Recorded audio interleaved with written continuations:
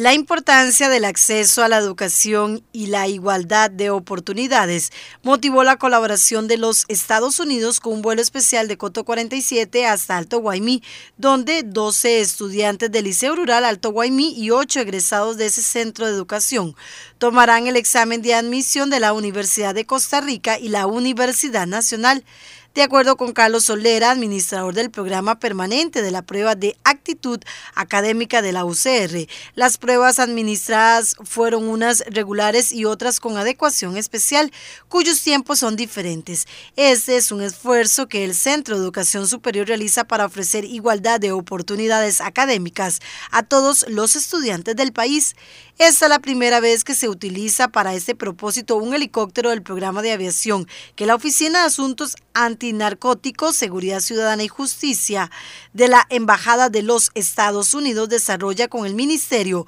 de Seguridad Pública. El programa de aviación se imparte a pilotos, mecánicos de aviación y oficiales del Servicio de Vigilancia Aérea del Ministerio y ya ha traído beneficios al servicio que ofrecen los policías a Costa Rica y sus habitantes. El director del INL, Robert Alter, resaltó la importancia de este vuelo para el futuro profesional de los estudiantes de esa comunidad indígena.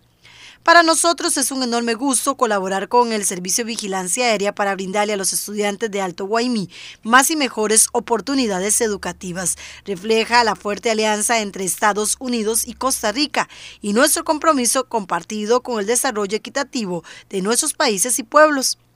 mientras que el director del Servicio de Vigilancia Aérea, Javier Moreira, indicó que esta colaboración agiliza y facilita el proceso logístico, permitiendo que los encargados lleguen a las zonas remotas como el Colegio de Alto Guaymí y sus alrededores. También subraya el compromiso con la equidad educativa al brindar acceso a estos lugares de difícil